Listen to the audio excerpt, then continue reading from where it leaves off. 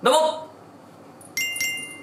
うるまです。はい、これの動画はですね、えこちらのチャンネルの恒例企画になっております。営業アパレルバイヤーの自分が、え最近プライベートで購入したアイテムをですね、ご紹介していくというコーナーになるんですけども、え今回はシューズ編になります。また後日ですね、最近購入したアパレルアイテムっていうのをご紹介させてもらおうかなと思ったんですけど、結構不定期にですね、シューズを結構まとめて買う月が自分結構あったりして、1ヶ月で3足、4足、5足とか結構まとめて買うことがあるんですよ。えという中でですね、直近自分がシューズを買うことが多かったので、結構自分の中のファッションスタイルの移り変わりだったりとか、えそういったものもあって、結構ね、いろんなものを買い替えてるんですよね。なので今回は合計5足、えシューズをご紹介したいこうと思いますので、結構トレンドのものだったりとか、あとは新作のアイテムとか、結構あと話題のアイテムとかですね、えそういったものが幅広く見せれるかなと思いますので、少しでもですね、皆さんの参考になれば嬉しいなと思っております。まあ、結構自分自身がですね、スニーカーだったりとか、あとはブーツ、レザーシューズとかですね、ほんと幅広く履くことが多いのと、あとですね、あんま結構限定のコラボとか、結構レアモデルとか、そういったものはあんま履くことがなくて、まあもちろんね、人気のモデルとかもあるんですけど、まあ、比較的にですね、未だに買うことができたりとか、まあ、日列でも値段が上がりすぎてないものっていうのがですね、え中心にご紹介できるかなと思いますので、早速ですね、え一足目のアイテムからご紹介していこうと思います。いやね、もう季節がもう早いもので、7月がもう終わりを迎えて、もう8月になるんですよね。8月は自分の誕生日があるところで、1年の中で一番ワクワクする月なんですけど、まあ、8月はですね、いろんなブランドの秋冬の立ち上がりもあったりもするんですけど、結構ね、夏物を買うのが一通り結構落ち着いて、秋のリリースを待ってるタイミングだったりするから、逆を言うとですね、7月8月ってファッションコモンだったりとか、あとシューズとか、そういったものが結構買う機会が多かったりもする月なんですよね。という中でですね、今回紹介するシューズたちもかなりお気に入りプラス、ぜひですね、皆さんにもお勧めしたいアイテムたちになっておりますので、早速1足目のアイテムから出していこうと思います。はい、というわけでですね、早速1足目のアイテムからご紹介していこうかなと思うんですけれども、1足目のアイテムがこちらになりますじゃんはいこちらいきなり1足目から結構話題のアイテムになるんですけどもこちらのアイテム名からですねまずはご紹介していこうと思います。まずこちら。結構最近リリースされた中でも結構話題の1足になってて結構自分の周りでもですねこのシューズ履いてる人が多くてまずこちらのモデルがですねナイキのシューズでございましてモデル名が AirMax プラスティエンポというモデルでございます。で今回のねこのモデルに関しては3つカラーが出ておりましてカラーがこちら。はい。こんな展開になってるんですがでねこのカラー展開がこの3 3色展開っていうわけではあるんですけど、このブラックホワイト、なんならこの3色の中で一番人気なんじゃないかってこのカラーに関しては、実はですね、レディースモデルなんですよね。なのでメンズでのモデルのリリースがないというところで、マジかよって思って、もうこれさ、もうユニセックスでも誰もが欲しいじゃんっていう中で、確かメンズがね、シルバーとレッドかなその他のリリースになってたんですけど、自分はやっぱね、まあ、最近モノトーンファッションがハマってるところもあって黒白欲しいなと思ってたんですけど、えこちらですね、買わしていただきました。え結構ね、最初リリースされる前とかは、なんか速乾することはないんじゃないかとか、えそういったね、話もね、ちらほらあったんですけど、蓋を開けてみると結構人気モデルだったみたいで、まあ、うかうかしてるとね、結構完売になりそうだったので、まあ、販売開始のタイミングでですね、え買わしてもらいました。で、こちらの AirMax Tiempo っていうモデルがですね、どういったものかというところなんですが、もうね、見てもらったと分かる通り、こんな感じの、はい、ベロがね、ついてるところがあるんですけど、これがですね、ナイキが昔ですね、リリースされていたフットボールシューズ、えそちらのモデルを現代にアップデートされてリリースされたアイテムで、結構この手のさ、サッカー系のシューズって、もうファッション業界の中も結構トレンドで、まあ、結構有名なところで言うとこちら。はい。で、これやっぱアディダスのサンバですよね。まあ、あとはこちら。はい。もうこのね、サッカーシューズのトレンドをかなりね、もう C の中に浸透させた印象がある、まあ、アディダスかけるウェイルズ・ボナーのえコラボのシューズとか、これ周りで履いてる人ほんと多かったんでね。で、という中でアディダスであんまりこういうサッカー系のシューズがまだまだリリースがされてないところで、ついに出ましたねってところでこちら買わしてもらいました。で、このサッカーシューズのデザインではあるんですけど、オールレザー仕様になってて、スポーティーなルックスなんですけど、ちょっとラグジュアルな印象もあって、シックなね、この空気感もあって、ものすごくかっこいいなって思って、このブラックのね、統一カラーに対して、こう白の、はい、ナイキのロゴをドンと入っているのと、あとこちらのね、このフロントベロに対しては、このナイキのロゴがシンプルに入っているデザインでございます。なので、結構ね、変わったデザインのように見えて、実は履きやすいモデルっていうのがものすごく良くて、で、プラス自分が普段履いてるようなナイキのモデルのエアフォースワンだったりとか、あとはジョーダンとか、そういったものとは全然ね、こう違うルックスのアイテムになるから、まあ、これからね、まあ、この夏もそうだし、まあ、秋冬向けてもですね、まあ、自分の今日足に取り入れたいなと思って買わしてもらいました。まあ、今のタイミングだと結構ブラック系のショーツに黒いソックス履いて、まあ、足元とこれみたいな。結構モノトーンコーデに合わせるのもそうだし、あとはテック系のコーディネートにもね、すごいハマってるようなコーディネートもですね、結構 SNS だったりとか、そういう投稿でも見てるので、自分のね、なんかファッションスタイルにもハマる利息なんじゃないかなと思って購入させてもらいました。え、でですね、先ほど言ったように、こちらね、レディースモデルではあるんですけど、もちろん大きいサイズもあって、自分がですね、サイズ28.5を購入しておりまして、サイズ問題なく履くことが可能ですね。っていうのが、前回ですね、こちら、はい、ナイキショックスっていうですね、こちらも人気モデルになるんですけど、これもメンズでのリリースがなくて、しかもブラックで。なのでこれも自分は28.5、これレディーサイズのものを買ったんですそれをね、問題なく履くことができたので、この店舗に関しても28.5を履いてちょうどよく履くことができましたね。で、これね、もうエアーも入ってるのでクッション性も高いし、もうサッカーシューズ独特のですね、このルックスっていうのも、まあ、着こなしにですね、程よいアクセントとトレンド性を落とし込んでくれるので、まあ、そこが、あとですね、やっぱアディダスとかそういったものじゃないってところに、ちょっと差別化を感じるなと思ったので、これからですね、大切に履いていきたい一足でございます。まあ、結構ね、この手のサッカーシューズとかを、綺麗めのセットアップで外しとかで足元に履いてたらすごいかっこいいんじゃないかなと思って、結構ね、秋冬は綺麗めのセットアップスタイルもしたいなと思ってる中で、まあ、ドメスティックブランドの下にのですね、セットアップを展示会自分がオーダーしてたんですよ。で、それがね、もうすでに届いていて、まだね、この時期なので、あの、テーラージャケット着るの暑すぎるんですけど、9月に入ってきてね、巻物が着るようになったら、そのセットアップにこのテンポ合わせたいんですけどね。まあ、このアイテムはですね、日率で若干ね、定価よりも値段が上がってることはあるんですけど、全然ですね、まだまだ全くえないというモデルではないので、まあ、店頭にはさすがに残ってないとは思うんですけど、噂によるとなんか、シルバーとかワインはなんかたまにどっかで見るか見ないかみたいな話は聞くんですけど、なかなかですね、店頭で見ることは今できないモデルになりますので、もし探してる方はスリナンとかね、あと二次流通とか、結構リセールショップとかでも結構並ぶことが多いので、まあ、値段が上がる前にですね、ゲットすることをお勧めしたい一足でございます。はい、というわけでまず1足目がこちらナイキの、えー、エアマックスプラスティエンポでございました。はい、それでは2足目のアイテムをご紹介していこうと思います。え、2足目のシューズがこちらで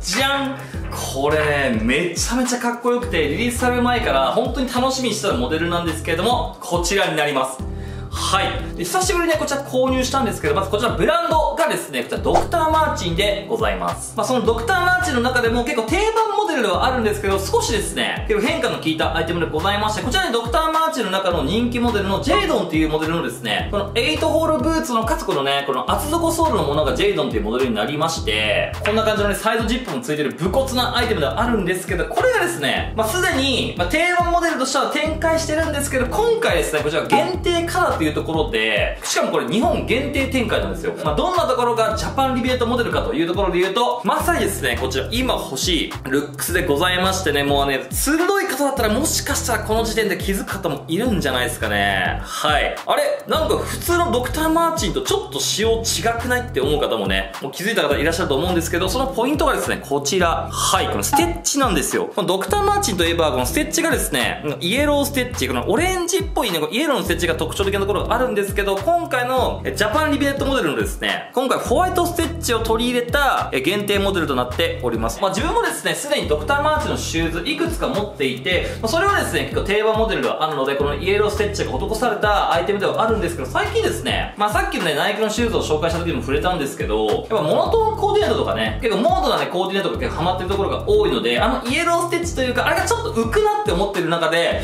いや、まさにめちゃめちゃいいじゃんみたいな。しかもですね、秋冬に向けては自分も結構ボリュームのあるパンツ、すごいバギーシェイプのパンツを引き継ぎ履きたいので、そうなってくると、結構ボリュームのあるね、まあ、シューズだったりとかブーツっていうのに探す中で、まあ、ハイブランドだったりとか、ドメスティックブランドとか、まあ、インポートブランドの、なんか厚底とかにデザインの入ったブーツを買おうとすると、平気で10万とか、そんぐらいのプライスしてくると、ちょっと高えなって思う中で、まあ、ドクターマーチンから、まあ、厚底モデル、しかもこのちょっとモノトーンな印象が出てくるってなったら、こうめちゃめちゃ、逆に言うとコストパフォーマンス高いんじゃないかなと思って買わしてもらったんですよ。これね、後ろのね、部分に関してもこれモノトーンの白黒仕様になってるから、こういったところも細かいっすよね。で、自分が今回買ったのは、このジェイドンっていうですね、この厚底のブーツモデルを買ったんですけど、このジャパンリミテッドのですね、今回のコレクションに関しては、このジェイドン以外もですね、モデルが出ておりまして、ほんとこんな感じ。はい。このブーツ以外にも複数ですね、いろんなモデルが出ていて、すべてですね、ドクターマーチンの中の定番モデル、そちらをですね、ベースに作られているので、もう何かしら欲しい一足が見つかるんじゃないかなと思っております。で、今回ですね、買った値段、これがね、ジェイドンのね、ジャパンリミテッドモデルが、お値段がですね、3万5千円というところで、インラインのジェイドンと比べてもちょっと高いんですよね。なんか1万円ぐらいかな。9000円か1万円ぐらい値段は違って、おちょっと高えなって思ったんですけど、まあ、ただ、まあ、このね、ステッチだけの違いじゃんってね、思いがちなんですけど、そのステッチの違いだけでこんなに、まあ、ルックス変わるかと思って、まあ、これはもう欲しいなと思って、販売日当日に買いに行きましたね。まあ、これは全然ですね、なんか争奪戦になったとか、すごい完売が入ってモデルじゃなくて、全然ね、今でも店頭で買うことができるんですけど、これね、すごいおすすめですよ。まあ、自分的には、なんかダメージのデニムだったりとか、結構ワイドなカーゴパンツとか、そういったものに合わせたいし、まあ、今のタイミングだったら、まあ、ショートパンツに合わせるとかね、そんな感じもいいかなと思ってて、まあ、自分のイメージ的にはリックオイスのスニーカーというか、まあ、バレンシアガのね、シューズ系のアイテムというか、そんなね、なんか武骨でボリューム感のあるブーツと同じような使い方をしたかったから、まあ、そういったコーディネートにですね、ガンガン合わせていきたいアイテムとなっております。しかも今回ですね、まあ、8ホールでハイカットのモデルになっているのと、あとはサイドジップで着脱が簡単なモデルになるので、結構ね、デカ履きしたいなと思って。なので今回、自分だったらね、ドクターマッチだったら27.5とか28でも全然履くことができるんですけど、今回、こちらのモデルに関しては自分29を購入して、ちょっと大きめに買ったんですよ。結構バギーシートのパンツと合わせても結構ボリューム感がより少しでも出るようなね、風にして、プラス、やっぱサイズを上げると中がですね、結構大きく感じてしまうのも嫌だったから着用感が変わったりとかして。なんでね、ドクターマーチンの店頭でこのインソールもですね、購入して、サイズを調整してですね、ちょっとデカ履きできるように、まあ、若干アレンジを加えて購入しております。まあ、ドクターマーチンの店頭で行くと、インソールをですね、一緒に買ってもプラス2000円ぐらいかなで買うことができるので、まあ、クッション性も上がるし、足元の中のフィット感も上がるので、まあ、店頭で買う際は、そういったところもですね、店員さんと相談しながらお買い求めいただくのがですね、おすすめなんじゃないかなと思います。いやー、ドクターマーチのいいところはですね、新品のですね、キラキラの状態で履くのもかっこいいんですけど、履いていくうちにですね、まあ、エイジンがかかってきて、ちょっとシワとかね、なんか汚れが出てきてもかっこいいっていう、こういったところはなんかちょっとロックテイストっていうところだったりとか、結構グランジ系のところもですね、すごいハマってくるところがあって、自分もね、手持ちでドクターマーチンのイングランド製のですね、ブーツ、結構ヴィンテージのもの持ってるんですけど、あれやっぱ手放さずに、まあ、一生履くかなっていう、あれはもういくら履き込んでもどんどんかっこよくなっていくんじゃないかと思ってるから、まあ、このジェイドに関してもですね、ですねまあ、綺麗には履きたいなと思ってるんですけど、まあ、そんなね、経年変化とかそういったものを楽しみながら、まあ、愛用していきたい一足でございます。はい、というわけで2足目のアイテムがドクターマーチンの日本限定ラインでリリースされている、こちらホワイトステッチのジェイドンでございました。はい、それでは続いて3足目のアイテムをご紹介していこうと思います。3足目のシューズが超定番モデルなんですけど、ちょっとしたら違うですね、アイテムになっていて、これずっと欲しかったずっと迷ってたんですけど、ついて買っちゃいました。アイテムがですね、こちらですじゃんはい超久しぶりに買ったんですけどまあもうスニーカー界の中でも定番中の定番のモデルなんですけれどもこちらモデルがですねこちらバンズのスリッポンでございます。ただですねこちらただのスリッポンではありません、まあ、さっきのねドクターマーチンのジェイドンと一緒でこれもですね結構バンズの中で最近リリースされた、まあ、一つのラインでございましてそのねラインっていうのがこのバンズのプレミアムラインっていうのがですね今年の3月ぐらいからかな結構スタートしてバンズの、ね、定番モデルのですね、オールドスクールだったりとか、SK ハイとか、なんかそんなモデルとかですね、あとオーセンティックとか、そういったバンズの定番モデルをよりアップデートして、えリリースするというですね、えモデルになっていて、結構リリースされてから、もう服付けの中でもですね、すごい人気の高いモデルになっていて、しかもね、定番でインラインが出ているパンツの通常ラインよりも、ルックスがやっぱかっこいいんですよ。本当ね、パッと見たらどこが違うっていうところあるんですけど、結構違いがあってですね、えまずなんといってもこれプレミアム、どういったところがプレミアムかというと、履き心地が段違いに良くて、もうこれね、分かりやすく見せると、こんな感じの、はい、インソールが外せるんですけど、めちゃめちゃ肉厚なインソールが入ってて、クッション性がめちゃめちゃいいんですよ。なのでね、そんじょからのスニーカーの中でもフィット感もいいし、クッション性も高いから、なんかよく歩く人かね、そういった時に履くと、めちゃめちゃいいんじゃないかなと思ってこちら購入いたしました。まあ、パッと見はただのスリッポンに見えるところはあるんですけど、実は結構いろんな変化があって、まあ、このソールの部分ですね、ここのソールも実は結構厚めになっていて、この白いソールの部分も定番が出てるものと比べてるとですね、結構厚くなってて、そういったところのルックスもすごいかっこいいなと思ったし、あとここのね、ピスネームバンズのロゴに関してもクラシックのロゴになっていて、かかとの部分に関しても、はい、バンズのロゴがなくて、定番ラインだとここに赤のね、ロゴが入るんですけど、それがモノトーン調になっているモデルでございます。なんでね、よりシックに履けるところもあるし、シューズのフォルムもですね、まあ、インラインのものよりもスマートというか、しかもソールのボリュームが上がってるところもあって、結構ね、お値段自体もプレミアムラインは、これね、1万円ぐらいなんですよ。だけど、定番が出てるスリッポに関しては、ほんと5000円ぐらい買えるんで、値段2倍ぐらい違うんですけど、2倍の値段を払ったとしても、こっちの方が圧倒的にかっこいいなと思ったので、結構今ファッションシーンの中で、クラシックな着こなしに結構戻ってるところがあって、それこそなんかコンバースのオールスターもそうだし、バンズのね、オールスクールだったりとか、スリッポンとかオーセンティックも、まあ、じわじわ結構人気が高まってるところもあって、もちろんインライのものもですね、もう安いし頑丈ですし、すごいかっこいいんですけど、まあ、ちょっとね、一味違うところだったりとか、履き心地を求めるんであれば、このプレミアムライン、ぜひね、結構おすすめだと思うし、ファッション好きの人はですね、結構こっちを手に取ることがね、結構多いなって印象もあるので、ぜひですね、こちらのモデルを手に取ってチェックしてもらいたい一足となっております。もうこれもですね、なんかバンズのどこのお店にもあるわけではなくて、取り扱い店舗も結構限られてて、ABC マートで行ってもどこでも置いてるわけじゃなかったんですよね。なんか ABC マートの中でも結構大型店舗しかないし、あとバンズの直営店とかではあったりするんですけど、バンズの直営店ってさ、まあ、全国でめちゃめちゃあるわけじゃないじゃないですか。なので、結構買う時に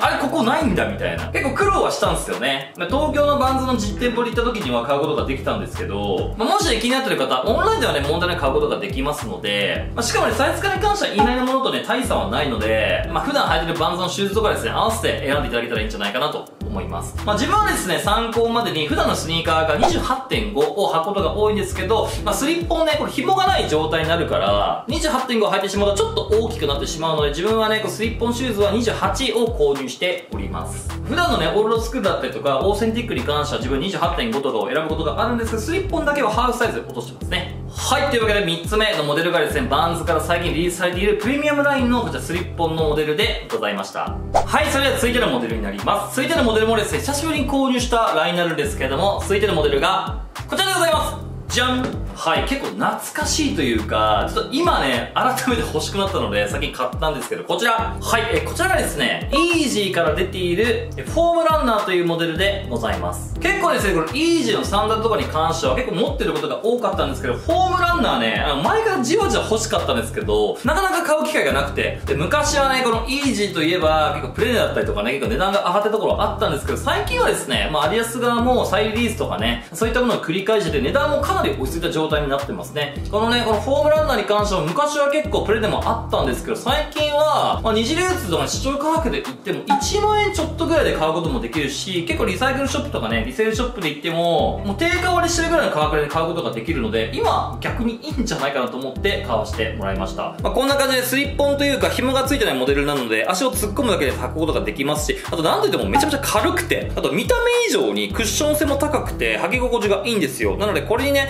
まあ、素足で履くっていうよりかはソックスを合わせてね、履くことがあるんですけど、割とね、カラー系のソックスだったりとか、あとは白とか黒とね、モノトーンのソックス合わせるのもかっこいいし、まあ、夏のストリートファッションするときに合わせたいなと思って購入いたしました。まあ、あとはですね、全体のボリューム感もめちゃめちゃあるので、バギー系のパンツとかね、そういったものを合わせるのも、まあ、自分のコーディネート的にはですね、合うかなと思ったので、こちら購入させてもらいました。このイージーに関しては以前こちら、はい、このイージスライドですね、こちら履いていて、結構気に入ってるいろいろ履いてたんですけど、まあちょっとね、フォームランナーの方も、ゴテッとしたね、アイテムが欲しかったのと、あとね、まあ自分の周りの友人が履いてて、ちょっとかっこいいなと思ったので、まあそれを見て欲しくなったっていうのが結構本音の部分ですかね。なので普段のコーデとのバチバチの時に合わせるのもいいし、あとは土日のね、まあちょっとラフにお出かけする時の、まあサンダルでですね、フォームランドとか合わせたらすごいかっこいいなと思ったから、えこちらね、まあ秋はもちろん履けるんですけど、この夏にですね、いろいろ履いていきたいと思って。まあイージーに関してはですね、もういろいろあったので、新作が出るってことはね、なかなかないんですけどね、まあその元々のモデルに新色が出ることはあるんですけど、まあただ全く新しいモデルっていうのは多分出ないんじゃないかなって思ってるから、まあ過去の既存のモデルもですね、なんか再リリースされたら、なんか昔買えなかったやつなんか今更欲しいって時もね、ちょいちょいあったりもするんで、まあそういうのもですね、今後もチェックしていきたいなと思っております。はい、というわけで4つ目のアイテムが、こちら、イージーからリリースされているホームランダーでございました。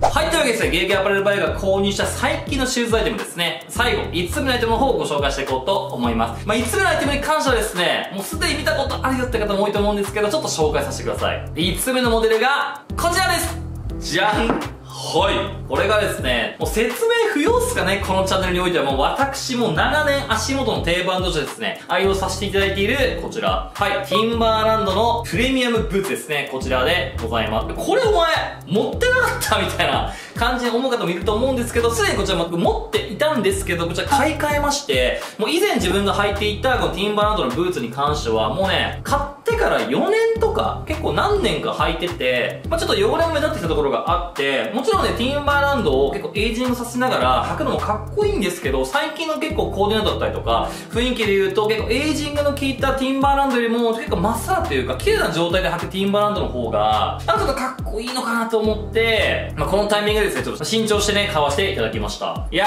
やっぱね、ティンバーはいいね。まあ、自分の中だとスニーカーで常に買い足してるのがナイキのエアフォース1で、まあ、ブーツに関してはやっぱティンバーランドのこのブーツなんだよね。まあ、このアイテムに関してはイエローブーツのね、このキャメルカラーのものもそうだし、あとブラックもですね、常に定番で自分の足元をですね、支えてくれてるので、まあ、これもエアフォース1と一緒に、まあ、今後もちょっと一生履き続けるかなっていうアイテムですね。もちろんですね、自分の気分だったりとか、まあ、トレンド的にですね、めちゃめちゃ履く時期もあれば、まあ、最近あんま履かないっていうね、波もあったりもするんですけど、まあ、手放すことだったりとか、自分のコーディネートの時期から外すことってまずないなと思うぐらいですね、愛用してるものになりますので、まあ、こいつともですね、まだ長らく付き合いをしていこうかなと思っております。ほんとティンバランド最近着用が多いよね。まあ、前まではですね、結構ヒップホップ系というか、ストリートファッションの方が中心にね、着用してたんですけど、最近はですね、著名人の方も着用も多いし、もう最近は、まあ、多分普段ティンバランド履いてこなかっただろうな、この子っていう子も、まあ、ティンバランド履いてたとかして、周りのね、全然違う系統のインフルエンザの子とかも、ティンバランド履いてたとして、時代だなと思って、まあ、自分的にはすごい嬉しくてですね、なんかね、流行り方で言うと、ちょっと前のなんかナイキのエアフォースワンに近いっていうか、まあ自分がですね、昔から履いてるから懐かしさだったりとか、もう定番として見てるモデルではあるんですけど、もう多分これ誰々が履いてたから欲しいとか、そういった感じのですね、流行り方も結構じわじわ感じるですね、こちらモデルになっておりますので、もうほんとこのチャンネルの中ではもうね、レギュラーアイテムというか、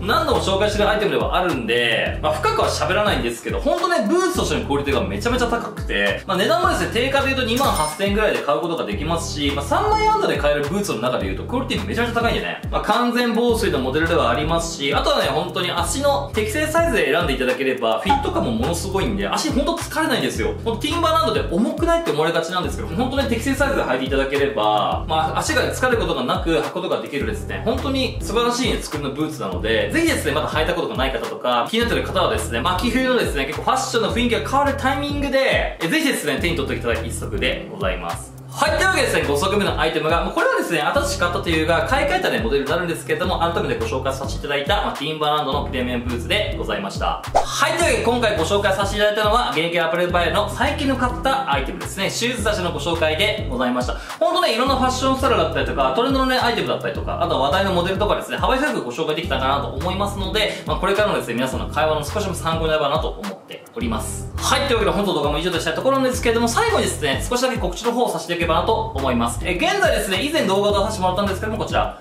はい、私のウェンスブランドのオープニングアートから、えリアルレザーコレクションですね。本当に高級感漂うリアルのシーブレザーを使ったですね、コレクションをですね、現在受注販売にて、えご注文を承っておりまして、今ね、昨今ですね、結構フェイクレザーだったりとか、エコレザーとかですね、リリースことが多いんですけど、やっぱりですね、本画にしか出せない、ラグジュアリー感だったりとか、本物しかのアイテムをですね、まあ、自分自身がやっぱ欲しいなと思ったので、トレンド的にもですね、レザーアイテム欲しくなるタイミングですし、やっぱり自分のブランドからも欲しいなと思って、何より自分が着たくて、もう作らせてもらったモデルになるんですけど、とんでもないコストパフォーマンスになってるんですよね。アイテムが2型リリースさせてもらってるんですけども、こちら。はい。このね、シープレザーを使った MN タイプのブルゾンと、こちら。はい。ヴィンテージのワークブルゾンをベースにしたシーブレザーのですね、ワークジャケット、えこちらのね、2型リリースさせてもらってるんですけど、もう受注販売させていただいた初日からですね、本当に多くのご注文いただいておりまして、反響がものすごくて、皆さんですね、トレードに値段が欲しかったところもありますし、値段も本当に衝撃のプライスになっていて、もう税込みで3万3000円になってるんですよ、リアルレザーで。まずね、ありえないっていうか、他のブランドで買ったら、ほんと10万近くするんじゃないかってぐらいのですね、とんでもないクオリティを、もうギリギリのプライスですね、今回リリースさせていただいておりますので、え、よろしければですね、概要欄の方に商品のですね、えページのリンクと、あとは紹介させていただいている動画のリンク、そちらも貼らせていただいておりますので、よろしければですね、え概要欄の方チェックしていただいて、受期間の方もまだ残っておりますので、えぜひ概要欄からチェックしてもらえたら嬉しいです。はい、というわけで本日の動画も以上となります。本日の動画はですね、少しも参考になったとか面白いと思っていただけましたら動画の高評価とチャンネルの方お願いいたします。まあ、あとですね、概要欄の方に自分の Instagram と TikTok からアカウントも貼っておりまして、日々ファッションのニュースだったりとか、日々のキャンスとかそちらも載せているので、えそちらもチェックしてもらえたら嬉しいです。はい、それではまた次回の動画でお会いしましょう。さよなら